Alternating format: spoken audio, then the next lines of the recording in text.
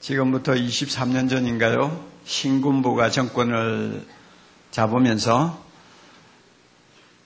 국가 경제가 마이너스 성장으로 돌아서면서 불경기가 심각한 때가 있었습니다. 그때 제가 이 본문을 가지고 설교를 한번 한 일이 있습니다. 밤중의 노래 이런 제목으로 아, 설교를 하면서 우리가 어두운 밤을 믿음으로 어떻게 해치고 나가야 할 것인가를 말씀을 드렸습니다. 그런데 여러분도 잘 아시다시피 지금은 그때보다도 훨씬 더 어두운 것 같아요. 정치는 나라가 어디를, 어, 나라를 어디로 끌고 가는지를 잘 모르겠고요. 경제는 한 치 앞도 내다보기가 어렵고, 그 나라의 생명이라고 할 수 있는 도덕성은 바닥을 치는 것이 아닌가 할 정도로 불안을 가중시키고 있습니다. 그래도 때묻지 않는 마음을 가졌다고 생각하는 고등학생들이 집단적으로 수능 부정행위를 저지르고 그 고등학생들의 학생, 여학생을 끌어다가 성폭행을 하면서도 부끄러운 줄을 모르고 자기 할 소리 다 하는 이런 세상을 보면 숨이 콱콱 막히는 심정이라는 것 여러분도 다 경험하실 것입니다. 영적으로는 어떻느냐? 영적으로는 정말 깊은 밤인 것 같아요. 사탄이 그저 제 철을 만난 것처럼 날뛰지 않나 하는 생각을 합니다. 그 좋은 예로 다빈치 코드라고 하는 책이 요즘 베스트셀러가 되어 있습니다. 예수님이 막달라 마리아 하고 뭐 결혼을 해가지고 뭐 어떻게 했다는 이야기를 추리해가지고 쓴 말 같지도 않는 소리를 늘어놓은 소설인데 우리나라만 해도 지난 4개월 만에 100만 부가 넘어갈 정도로 팔렸어요. 이것이 무엇을 의미하느냐? 사람들이 옳은 소리는 듣지 않고 잘못 된 소리만 귀를 기울이고 쫓아다니는 밤이 온 거예요.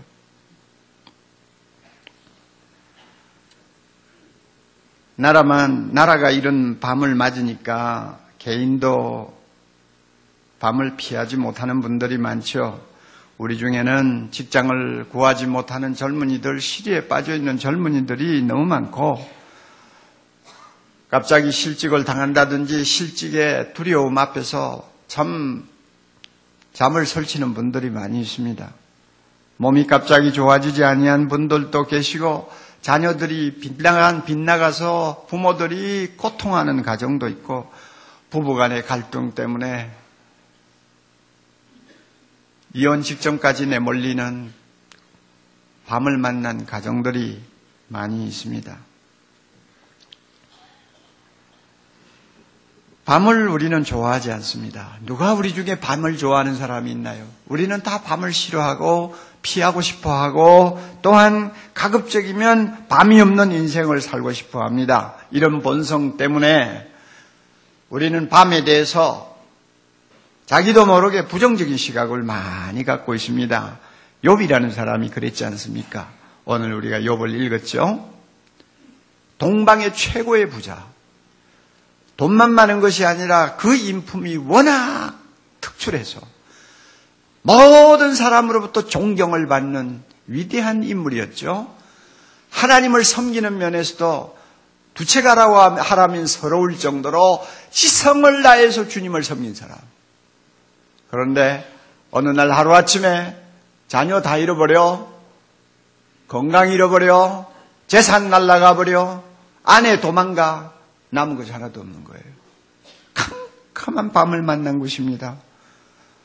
너무나 어처구니 없는 이런 고통을 그가 직면하게 되니까 자기도 모르게 생각이 부정적으로 돌아버렸어요. 친구 셋이 찾아와서 이 고통이 어디로부터 온 것이냐를 가지고 감론을박하면서 내뱉은 말들을 들으면은 전부 다 부정적인 시각이에요. 내 죄가 많아서 이런 저주를 받는 것이다. 아니야 나는 그런 죄를 범한 일이 없어. 아니야 네가 죄를 범한 거야. 숨은 죄가 있기 때문에 죄값이야. 이러면서 서로가 감론을박 하다가 결국 모두가 다 지쳐 쓰러져 버렸습니다. 그때 젊은 청년 엘리우가 등장합니다. 엘리우의 시각은 좀 달라요. 고통을 보는 안목이 다른 사람하고 틀려요. 왜 당신들은 고통을 이렇게 부정적으로만 해석하냐? 우리가 잘 생각하면 고통 속에는 하나님의 놀라운 은혜가 있다 이거예요.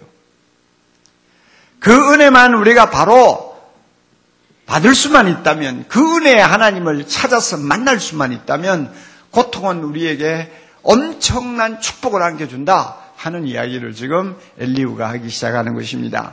그 내용 중에 하나가 오늘 우리가 읽은 본문이에요. 여러분 본문을 잠깐 다시 좀 보실까요? 9절인데 사람은 학대가 많음으로 부르짖으며 세력 있는 자의 팔에 눌림으로 도움을 부르짖으나 여러분 세계 역사에서 가장 지독한 고통이 뭡니까? 가장 무서운 밤이 뭡니까? 독재자를 만난다든지 학정을 눈 하나 깜짝하지 않고 휘두르는 폭군을 만났을 때 그 아래서 고통하는 백성의 삶이 아니겠어요? 옛날이나 지금이나 마찬가지죠. 이런 고통을 당하면 누구에게나 어두운 밤이 찾아옵니다. 그럴 때, 그럴 때 엘리우가 보면 사람들이 정상적으로 그 밤을 돌파할 수 있는 자세를 취하지 않는다는 것입니다. 그래서 10절 이런 말을 하죠. 나를 지으신 하나님, 곧 하나님 사람으로 밤중에 노래하게 하시며, 사람으로 밤중에 노래하게 하시며, 우리를 교육하시기를 땅의 짐승에게 하심보다 더하게 하시며, 우리에게 지혜 주시기를 공중의 새에게 주심보다 더하게 하시는 이가 어디 계신가 말하는 자가 한 사람도 없구나. 쉽게 요약하면 이것입니다. 밤이 오면 하나님이 특별히 주시는 은혜가 있는데 그것은 밤중에 노래하게 하신다는 겁니다. 하나님은 우리로 하여금 밤중에 노래하도록 입을 열어주신다는 것입니다. 그뿐 아니라 대낮에 가르쳐 주시지 않던 값진 지혜를 밤에 가르쳐 주시는 하나님이라는 것입니다. 그러므로 밤을 만났습니까? 이 하나님을 열심히 찾아가면 밤중에 노래하는 사람으로 바뀌고 밤중에 놀라운 지혜를 터득하는 지혜자가 될 수 있는데 그럼에도 불구하고 이 하나님은 찾아가지 아니하고 내 탓 내 탓 하면서 절망하고 좌절하고 흔들리기만 한다. 이것이 불행을 더 불행하게 만드는 요인이 아니냐 하는 이야기를 지금 엘리오가 하고 있는 것입니다. 여러분 얼마나 소중한 진리입니까?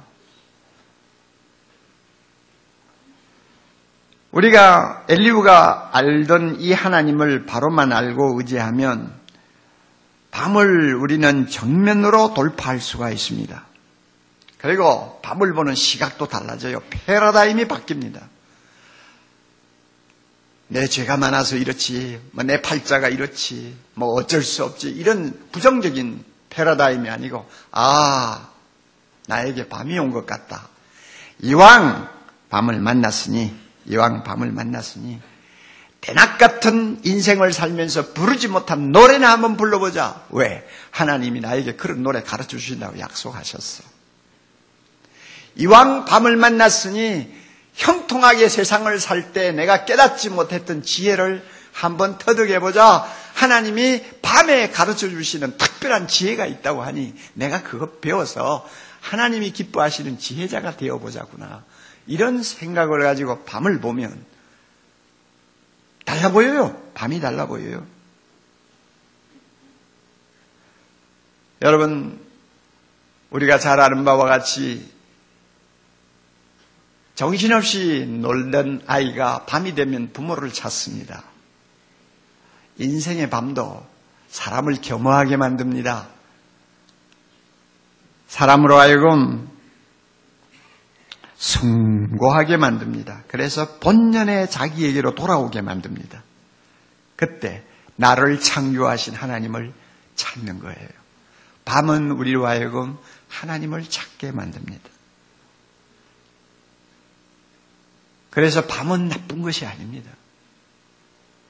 밤은 우리로 하여금 정말 하나님이 원하는 사람답게 우리를 원래의 자리로 돌려줍니다. 그래서 파스칼이라고 하는 유명한 철학자가 이런 말을 했습니다. 사람한테 가장 나쁘게 생각되는 고통이 어떤 의미에서는 가장 좋은 선물이 될 수 있다. 사람에게 가장 나쁘게 생각되던 고통이 어떤 의미에서는 가장 좋은 선물이 될 수가 있다. 진리라고 생각을 합니다. 고통 때문에 하나님을 찾게 되었나요? 그래서 밤중에 노래 부르는 기막힌 체험을 했나요? 또 밤을 만나서 정말로 어떤 값으로도 살 수 없는 지혜를 터득했나요? 여러분, 그렇게 됐다면 어떻게 밤을 원망만 할 수 있겠어요? 우선 먼저 우리 생각해 봅시다. 밤중에 하나님이 노래하게 하신다는데 그 노래하게 하시는 노래가 어떤 것일까? 한번 생각을 좀 해봤으면 좋겠습니다. 어떤 노래를 부르게 하시는 것일까? 아마 틀림없는 사실이 있어요. 대낮에 부르지 못하는 노래일 거예요. 맞죠? 내가 성공하고 형통하고 젊고 뭐 사람들에게 자랑하고 싶은 훈장을 줄줄이 달고 막 신나게 살던 때에는 절대로 부를 수 없는 노래. 아마 그 노래가 아닐까. 저는 그렇게 생각합니다.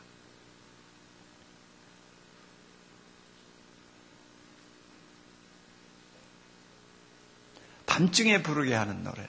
아마 그것은 하나님을 향한 진지한 어떤 사랑의 고백일지도 몰라요. 평소에도 하나님 사랑한다는 말 자주 했죠. 예배 드릴 때마다 우리는 하나님 사랑합니다 하고 찬송하지요. 그러나 내 팔자 상팔자 기댈 것이 너무 많고 걱정거리 없고 자신만만할 때는 다 입에 발린 소리예요. 다 속으로는 믿는 구석이 있기 때문에 하나님 사랑합니다. 어떻게 보면 중심을 보시는 하나님의 눈에서 눈에 눈으로 볼 때는 연 없는 속에도 없는 소리 잘 떠든다.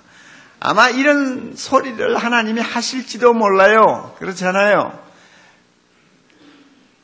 부잣집에 자녀로 태어나서 하고 싶은 것 다 할 수 있고 먹고 싶은 것 다 먹고 즐기고 싶은 것 다 즐기는 애가 엄마 사랑해요. 그 말을 듣는 어머니 심정이 어떨까요? 그래. 사랑하는 줄 내가 안다. 그러나 정말로 진심으로 하는 사랑일까? 뭐 이런 생각하지 않아요. 그러나 어떻게 집안이 좀 기울어 가지고 대학 다니는 애들이 한 푼이라도 벌어보겠다고 패스트푸드에 가가지고 밤새도록 일하고 그 다음에 뭐 백화점에 가서 점원으로 일하고 하면서 열심히 살아보려고 하는 상황이 돼버렸어요. 밤이 온 거죠. 그래서 서로 식구들끼리 얼굴 보기도 힘들어졌어요. 몸도 피곤해요. 그런데 어느 날 저녁에 딸들이 와가지고 엄마를 붙들고 엄마 정말 사랑해요. 엄마 우리가 있으니까 염려하지 말아요. 우리 열심히 해서 어머니 편하게 해주시 드릴 거예요. 엄마 사랑해요. 자, 그럴 때 사랑해요 하는 말을 엄마가 들을 때는 어떤 감정으로 들을까요? 아마 눈에 눈물이 솟을 거예요. 왜? 정말 진심에서 나오는 사랑의 고백이라는 걸 알기 때문입니다. 밤에 부르는 노래는 다른 데가 있어요. 하나님, 나는 하나님만 나의 소망입니다. 하나님, 하나님만 믿겠어요. 다른 것 다 없어져도 좋으니 하나님만 계시면 나는 돼요. 하는 고백 평소에도 많이 하지만 밤에 그 노래를 할 때는 의미가 다르게 전달되는 것입니다. 거기에 진실이 담기고 어떤 면은 생명이 거기에 담겨 있어요. 하나님은 우리에게 이런 노래를 듣고 싶어 하는 것 같아요.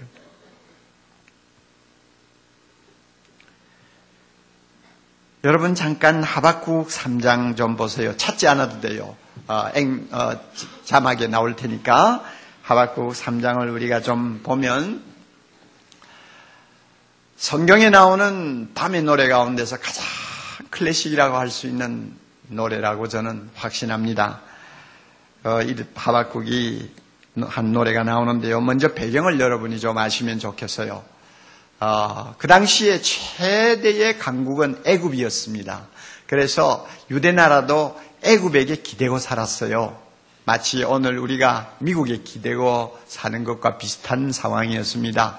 그런데 신흥국과 국가 바벨론이 등장하면서 애굽의 세력이 점점 점점 꺾이기 시작했는데 드디어 어느 전쟁에서 애굽 군대가 바빌론 군대 앞에 완전히 패배를 해버렸습니다.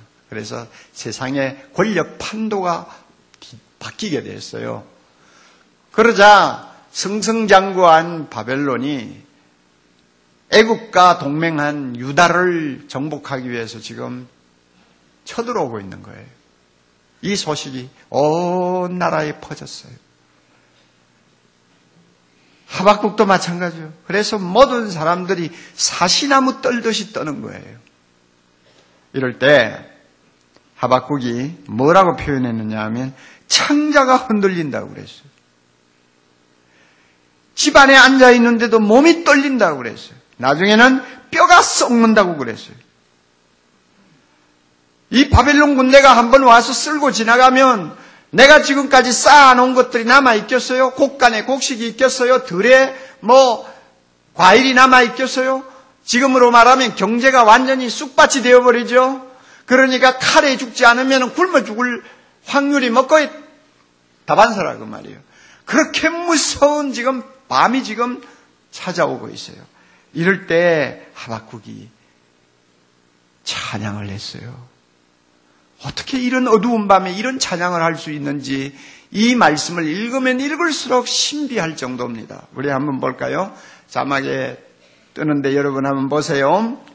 17절 하박국 3장 17절 그는 이렇게 이야기합니다.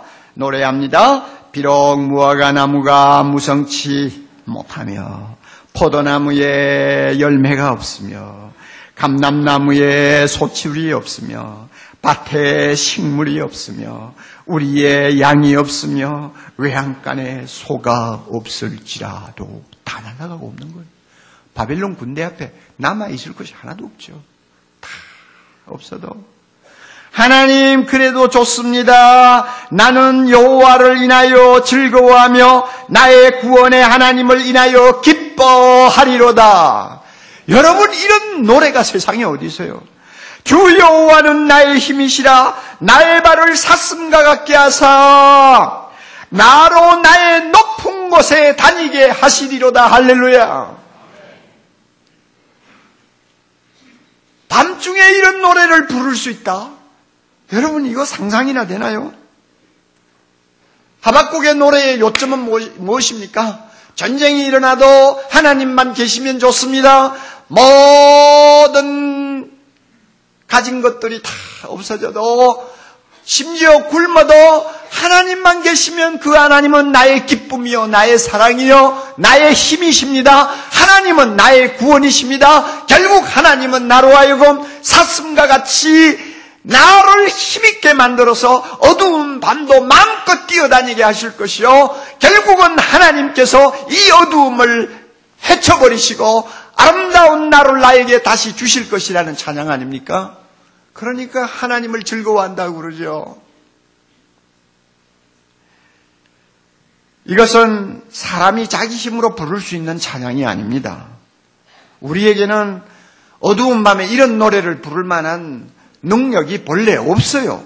아무도 없어요. 그러므로 이것은 하나님이 부르게 하시는 노래입니다. 하나님이 은혜 주실 때 부르는 거예요.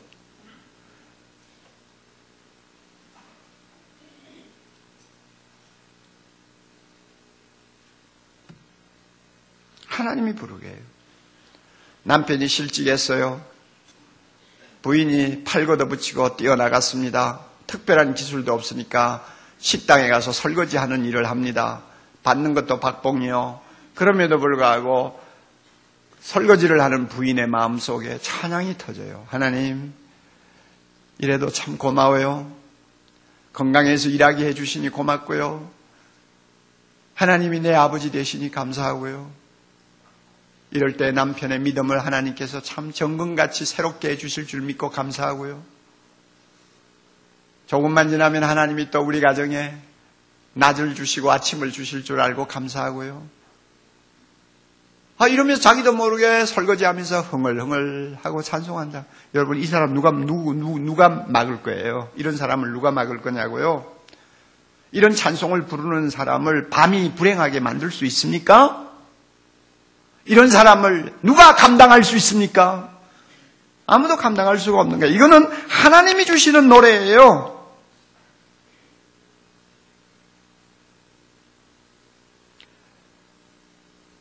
이 하나님을 오늘 다시 한번 우리 마음속에 모시는 시간이 되기를 바랍니다. 우리 하나님 자비로우신 분입니다. 우리를 사랑하시는 분입니다. 우리를 생명처럼 아끼는 분입니다. 하나님도 우리에게 밤을 함부로 주시기를 원하지 않습니다. 그러나 어쩌다가 필요해서 우리에게 밤을 주실 때는 하나님 나름대로 큰 계획을 갖고 계세요. 아, 밤 너가 싫어하지? 그러나 내가 밤에만 부를 수 있는 새 노래를 부르게 해주마. 이렇게 능력 있는 하나님이 우리 아버지 되심을 믿으시기 바랍니다.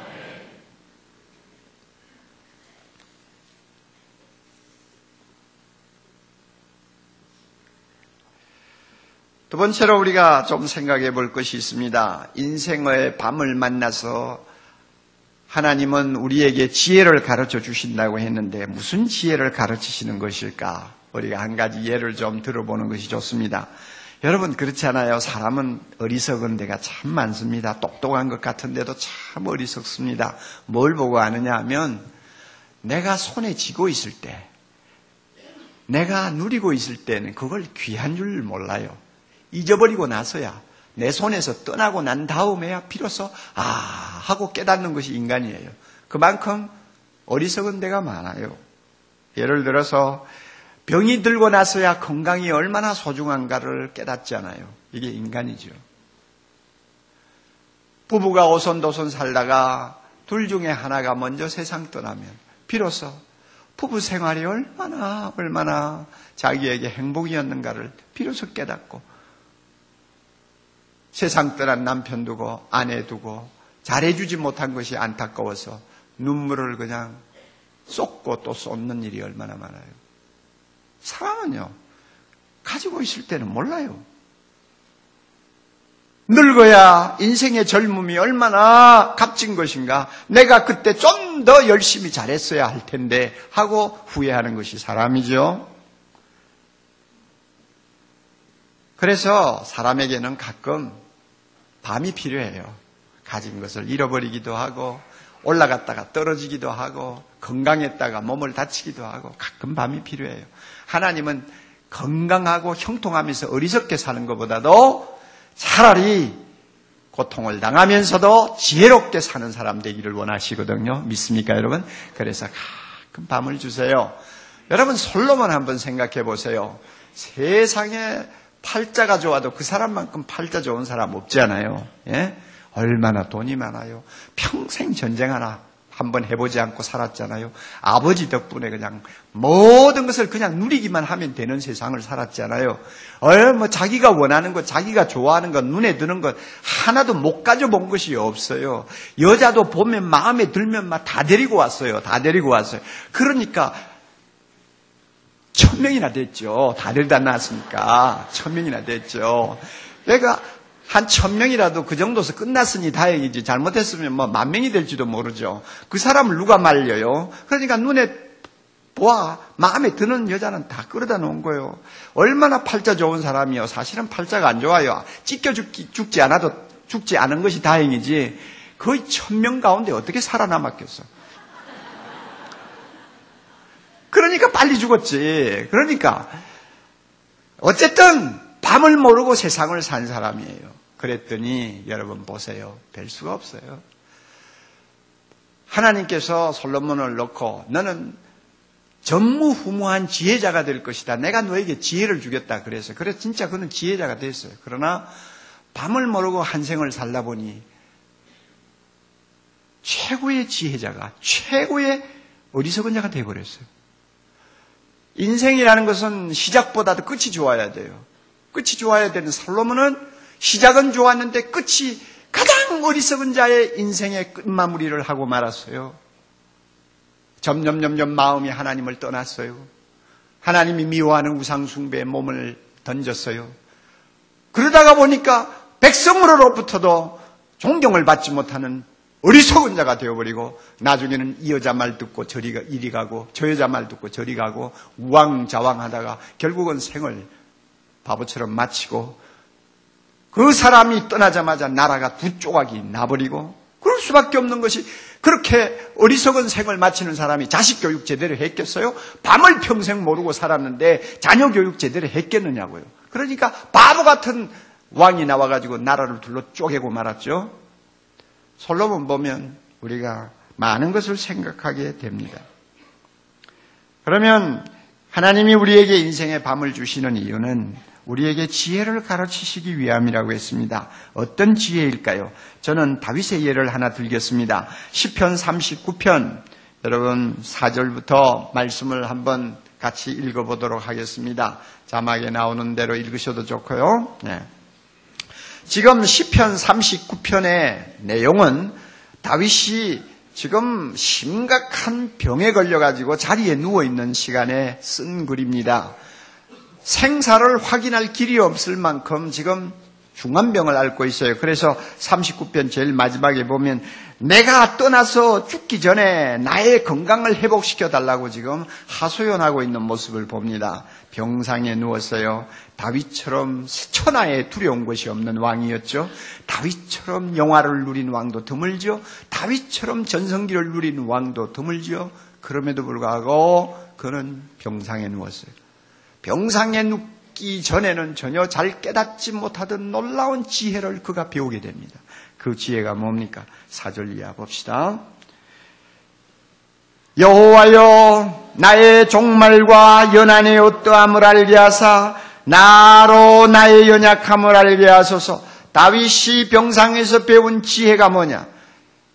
나는 약하다 하는 거 배운 거예요. 왕이지만은 나는 아무것도 아니야. 나는 너무 약해. 너무 약해. 이것은 건강한 대낮에는 배우지 못하는 지혜입니다. 여러분 대낮을 사는 사람 여러분 만나보세요. 자기가 약하다고 생각하는 사람이 어디 있어요? 그러나 병상에 누니 정말 자기는 아무것도 아니라는 걸 깨달은 거예요. 그 다음에 또 보세요. 5절에 주께서 나의 날을 손넓이만큼 되게 하심에 나의 일생이 주의 앞에는 없는 것 같사오니 무엇을 배웠습니까? 여러분 인생은 짧다. 내 생각에는 70년, 80년 사는 것이 대단한 것 같이 보이지만은 병상에 누워서 나의 생을 앞뒤로 재어보니 이것은 손넓이만큼 그것만도 못한 짧은 인생이구나. 인생의 덧없, 음을 깨달은 거예요. 하나님이 주신 지혜예요. 그 다음에 또 뭐라고 말합니까? 사람마다 그 든든히 선 때도 진실로 허사뿐이니이다.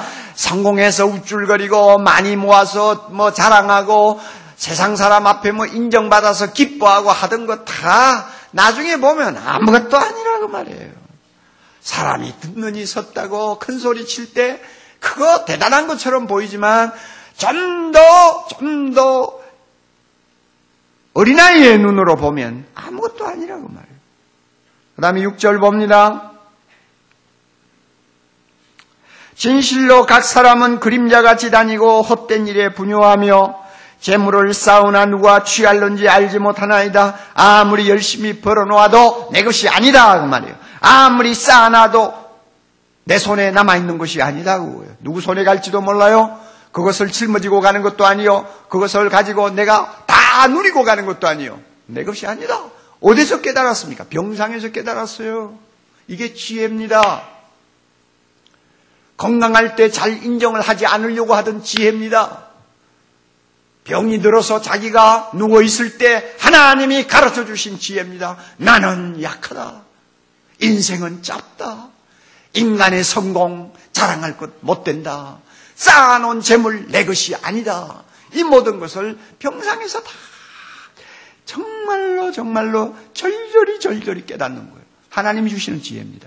그래서 결론이 뭡니까? 주여 다 같이 읽습니다. 주여 내가 무엇을 바라리요? 나의 소망은 주께 있나이다. 다시 한번. 내가 주여 내가 무엇을 바라리요? 나의 소망은 주께 있나이다. 지혜 중에 지혜가 뭡니까? 하나님만이 믿을 뿐, 하나님만이 나의 소망, 하나님만이 나의 영광이라고 고백하는 것이죠. 이게 지혜입니다.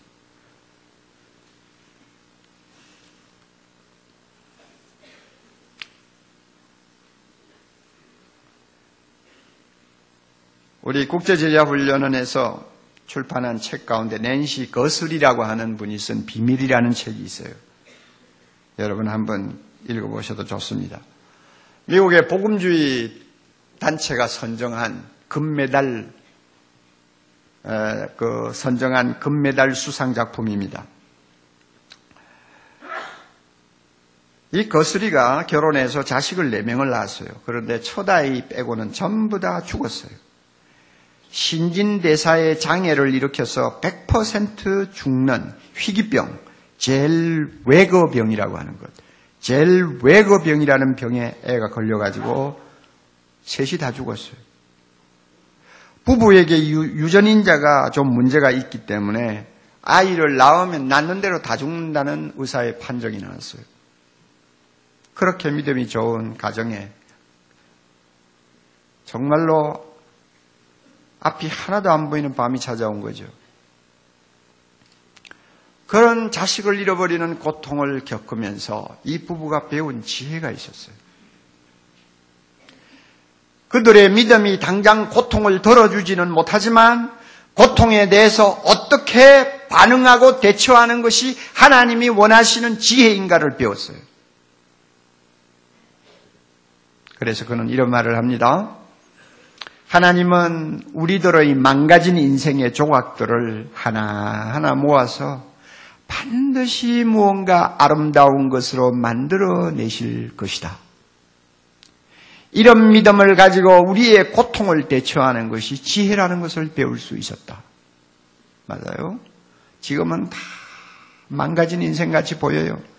그러나 좋으신 우리 하나님, 반드시 이 망가져서 흩어져 있는 조각을 하나하나 모아가지고 하나님이 정말로 기뻐하시는 아름다운 작품으로 만들어내실 것이다. 이 믿음 가지고 이 고통, 이 불행을 대처하면 하나님이 축복해 주신다 하는 지혜를 배웠다 그 말이에요. 네. 요이 말한 것처럼 나 하나님이 나를 단련하신 후에는 내가 정금같이 나오리라. 내가 정금같이 나오리라. 그대로 된다고 그대로 믿은 거예요. 하나님이 우리에게 원하시는 건 뭡니까? 하나님이 우리에게 원하시는 것은 세상의 성공 아닙니다. 잘 들으세요. 하나님이 우리에게 원하시는 건 뭐예요? 많이 쌓아놓는 거 아니에요. 하나님이 우리에게 원하시는 건 뭐예요? 내가 달라는 대로 다 주시는 거 아니에요. 하나님이 원하는 것은 우리의 속 사람이 예수 그리스도를 닮아 온전한 자리에 이르는 것을 원하십니다. 다시 말하면 자기와 꼭 닮은 자기 마음에 쏙 드는 사람을 원하십니다. 하나님이 원하시는 거예요. 그런데 이런 사람을 대낮, 형통한 대낮에는 절대 다 만들지 못해요. 하나님은 아무리 지혜가 많고 전능하신 분이라도요, 형통한 대낮에 자기가 원하는 사람을 만들어낸 역사가 없습니다. 성경을 보세요. 하나님이 사용하시고 하나님이 기뻐하시고 영광 받으시는 분들은 다 밤을 통해서 빚어낸 작품들이라는 거 우리가 알잖아요. 하나님이 그래서 우리에게 우리가 원치 않는 밤을 가끔 주십니다. 그래서 지혜를 가르치고 우리를 교육해서 자기의 마음에 싹 드는 멋진 하나님의 자녀 만들고 싶은 거예요. 이게 하나님이 우리 아버지니까 그런 욕심 없겠어요? 우리가 자식을 낳 키워도 자식이 그냥 뭐든지 잘 되고 뭐든지 막 그냥 그냥 교화가 날마다 벌벌 뛰는 그런 자녀 원합니까? 정말 뭔가 갖추어진 무게를 가진 인격자를 원하지 않습니까? 하나님도 마찬가지예요. 그러므로 이런 하나님의 마음을 알면 밤을 두려워할 필요가 없어요. 밤이 왔어요? 하, 하나님이 날 좀 더 마음에 들도록 만들고 싶은 모양이시군. 지혜를 가르쳐 주시겠지. 어디 한번 배워보자. 그래서 하나님의 마음에 드는 사람 좀 되어보자. 아, 이런 마음을 가지고 어두움을 대하면 밤이 두렵지 않아요. 밤이 부정스럽게 보이지 않아요. 오히려 기대를 하게 됩니다. 우리 모두에게 이런 하나님의 은혜를 주시기를 바랍니다. 제가 은퇴를 한 사람이니까 개인적인 이야기를 좀 해도 신뢰가 안 되겠죠? 저에게도 인생의 밤이 여러 번 있었습니다. 우리 교회 안에서 겪는 다른 형제들의 밤에 비하면 뭐 저의 밤은 밤도 아닐지도 몰라요. 그러나 교회를 맡은 목회자에게 있어서는 만만치 않는 밤의 고통이 저에게도 자주 있었습니다. 그래서 그 밤을 통해서 하나님이 저에게 가르쳐 주신 노래가 있어요. 그리고 그 밤을 통해서 하나님이 저에게 가르쳐 주신 지혜가 있어요. 개척교회를 시작하고 한 3년이 지난 다음에 몸에 이상한 증세가 생겼습니다. 병원을 갔어요. 의사 하는 말이 뭔지 알아요? 목사님 무리하지 마세요. 무리만 안 하면 됩니다. 특별한 약도 없어요. 무리 안 하면 됩니다. 목사가 어떻게 무리 안 합니까, 여러분? 무리 안 하고 어떻게 목사 일을 합니까? 십자가를 단단히 하나 짊어진 거죠. 그리고 나서 또 열심히 목회를 하는데 한 8년이 지난 다음에 또 한 군데 이상한 데가 나왔어요. 고통스러워요. 그래서 병원에 갔더니 의사 하는 말이 목사님도 신경 쓰세요? 아이, 면전에 사람을 두고 망신을 시키네요. 목사님도 신경 쓰시나요? 신경만 쓰지 마세요. 신경 안 쓰면 됩니다. 뭐 뾰족한 뭐 치료책도 없고요. 그러니까 신경 쓰지 말면 됩니다. 아, 이러니 참 기가 막히는 거예요. 무리하지 말아야 되고 신경 쓰지 말아야 되고 그럼 목사 그만 두라는 이야기죠. 그러니까 제가 어떻게 합니까? 아, 하나님이 나에게 밤을 주시는구나. 그래서 그 두 가지 몸의 약한 부분을 안고 이제 목회를 해야 되는 것입니다. 그러니까 어렵죠. 차라리 교회가 100명, 200명 다 그 모양으로 그냥 크지도 않고 줄지도 않고 있으면 어떤 면에는 목회하기가 쉬운데 계속 교회는 1000명, 2000명, 5000명, 8000명, 만명, 2만명 늘어나는데 목사가 어떻게 무리하지 않습니까? 목사가 어떻게 신경 안 씁니까? 그러니까 이래서 좀 힘들게 무리하게 뛰면 내 육신에 있는 가시는 제철을 만난 벌레처럼 그냥 사람을 괴롭히는 거예요. 그럴 때마다 하나님을 저는 찾았습니다. 밤을 만났으니까요.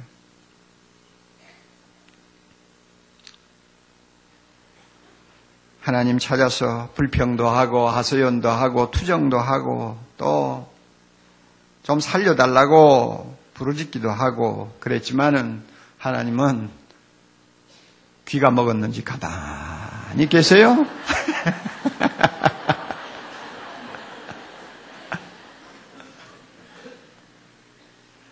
그런데 놀라운 사실을 제가 발견했어요. 나는 밤을 만나서 자주자주 힘들어 하는데 그런 밤을 통해서 하나님이 저에게 노래를 부르게 하셨어요. 무슨 노래인지 아세요? 하나님, 참 힘드네요. 그러나 하나님, 나같이 죄인 중에 개수를 하나님이 불러서 하나님의 백성 삼아 주시고 영생을 선물로 주셨다는 거, 이거 생각하면 너무 기뻐요. 어찌 내 같은 것이 하나님의 눈에 들었어요? 무엇이 좋아서 하나님이 특별히 그렇게 나를 주목하시고 구원의 은혜를 주신 거예요? 하나님 너무 감사해요. 한마디로 말하면 구원의 황홀함을 노래하는 노래를 나에게 주셨어요. 나를 사랑하사 나를 위하여 피 흘려 주신 예수 그리스도 그분 때문에 내가 무조건 죄 없는 하나님의 자녀가 되었다는 걸 생각하면 이거는 희한한 거예요. 그래서 90년도 한 해 동안 몸이 아파서 안식년을 보내고 91년도에 강단에 서서 얼마 지난 후에 제가 로마서를 강의하기 시작했는데 그 로마서는 저의 제가 밤중에 배운 구원의 노래였습니다. 그래서 그 로마서 강의를 1년 반 동안 하면서 강단, 강단에 서서 설교하다가 춤 많이 췄죠. 그때 제가 춤 많이 늘었어요. 예? 너무 좋아가지고, 나 자유 얻었네, 너 자유 얻었네, 우리 자유 얻었네. 지금은 오정현 목사님 밑에서 기가 죽어가지고 찬송 못하지만,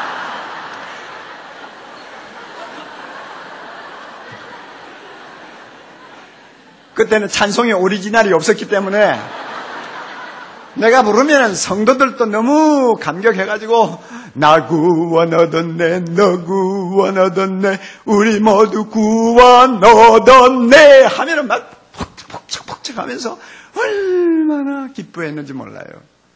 하나님이 나에게 이 구원의 노래를 주셨어요. 물론 평소에도 내가 받은 구원을 하나님 앞에 찬송하고 기뻐했지만은 인생의 밤을 만나서 내가 부르는 그 구원의 찬송은 깊이가 다른 것이었어요. 감정이 틀렸어요. 순수함이 달랐어요. 하나님이 특별히 나에게 부르는 노래, 부르게 하시는 노래였어요.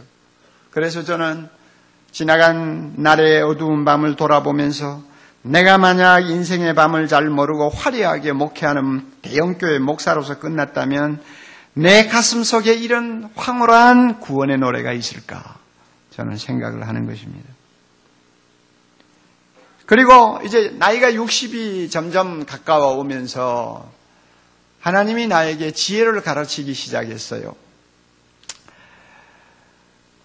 어떻게 하는 것이 사랑의 교회를 위해서 내가 마지막으로 최선의 선물을 안겨줄 수 있는 것이 될까?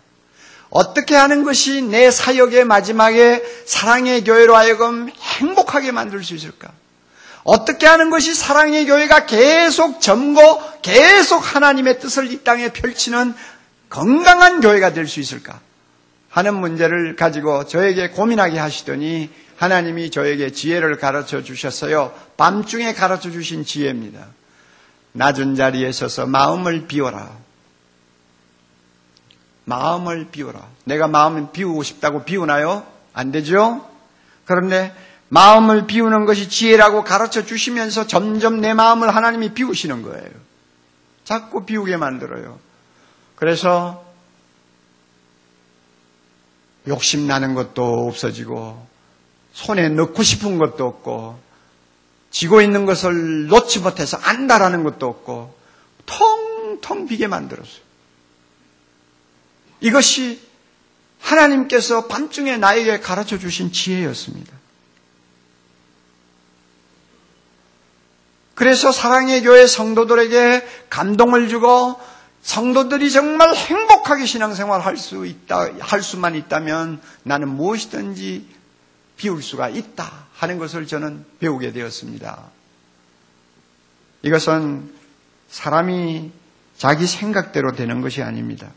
내가 인생의 밤을 몰랐다면 이렇게 자기를 비우는 지혜를 배우지 못했을 것입니다. 며칠 전에 국민일보 기자가 저를 찾아왔어요. 국민일보 16주년 기념 특별 대담을 위해서 찾아왔는데 처음 던지는 질문이 대뜸 이런 것입니다. 목사님, 은퇴하신 지가 한 1년 반 가까이 되시는데 그동안 참 많이 섭섭하셨지요? 이러더라고요. 내가 씩 웃으면서 내 속 정말 모르네. 어. 내가 왜 섭섭해? 얼마나 자유함을 누리고 얼마나 마음을 참 마음에 부담이 없이 내가 지금 살고 있는데 섭섭한 것이 뭐가 있어? 하나님이 나로 하여금 마음을 비우게 하셔서 하나도 섭섭한 게 없어. 나는 굉장히 행복해. 그랬어요. 그랬는데 그 말은 신문에 쓰지도 않았더라고요.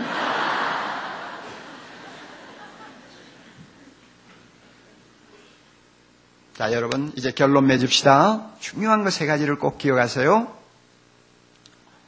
첫 번째로요, 사람은 누구나 다 고통을 겪고 산다는 것을 잊지 마세요. 누구에게나 밤이 있다는 것을 잊지 마세요. 이 밤은 나만이 당하는 것이다 하는 어리석은 생각을 하지 말라 그 말입니다. 어떤 분이 이런 말을 했습니다. 당신이 당하는 고통은 인류가 힘을 합쳐서 짊어져야 할 무거운 짐 가운데서 당신에게 활당된 지극히 작은 몫에 지나지 않는다 하는 말을 한 일이 있어요. 옳은 말 아니에요. 모든 인류가 지금 힘을 앞에서 짊어져야 될 짐이 있는데 그 가운데서 내가 당하는 것은 지극히 적은 한 몫에 지나지 않아요. 인생을 사는 사람 치고 밤을 모르고 사는 사람 없습니다. 그러므로 여러분 지금 밤을 당해서 내 나만 이런 일을 당한다 하는 생각을 하지 말아야 돼요. 이게 중요합니다. 첫째로. 둘째로는요. 뭐냐 하면은 이왕 이왕 밤을 만났으면 이 밤을 긍정적으로 보고 긍정적으로 대처하자 이것입니다. 왜? 자비로우신 우리 하나님이 밤에 가르쳐 주시는 노래가 있다. 그 노래 한번 불러보자. 하나님이 좋아하실 거다. 밤이라야 하나님이 가르쳐 줄 수 있는 지혜가 있다니 그 지혜를 내가 한번 배워보자. 하나님이 원하는 사람이 될 거야. 그러므로 밤은 절대 나쁜 것이 아니야. 하는 확신과 소신을 가지고 여러분의 어두움을 헤쳐나갈 수 있기를 바랍니다. 또 한 가지 더. 밤은 영원히 계속되지 않는다는 사실을 꼭 기억하시기를 바랍니다. 밤은 반드시 지나갑니다. 반드시 아침이 옵니다. 아멘. 반드시 밝은 아침이 기다립니다. 시편 30편 4절 5절 우리 다 같이 큰 소리로 읽습니다. 시편 30편 4절 5절입니다. 주의 성도들아 여호와를 찬송하며 그 거룩한 이름에 감사할지어다. 그 노염은 잠깐이요 그 은총은 평생이로다. 저녁에는 울음이 기수갈지라도 아침에는 기쁨이 오리로다. 저녁에는 울음이 기수갈지라도 아침에는 기쁨이 오리로다. 할렐루야. 밤은 반드시 지나갑니다. 하나님이 밤을 밝혀 아침을 우리에게 주실 것입니다. 이걸 꼭 기억하세요. 다시 반복합니다. 나 혼자 밤을 만난 것이다 하는 방정맞은 생각하지 말라고 그래요. 밤이 왔으면 자 밤중에 부르는 노래 한번 불러보자. 하나님이 주시는 지혜 내가 한번 배워보자. 이런 자세로 밤을 대하라고 말이에요. 그리고 또 하나 밤은 반드시 지나간다. 하나님이 나에게 아침을 주실 것이다 하는 소망을 가지라고 말해요. 그러면 하나도 내가 손해볼 것 없습니다. 여러분의 삶을 통해서 이런 축복들이 계속 이어질 수 있기를 바랍니다. 다 같이 기도하십시다.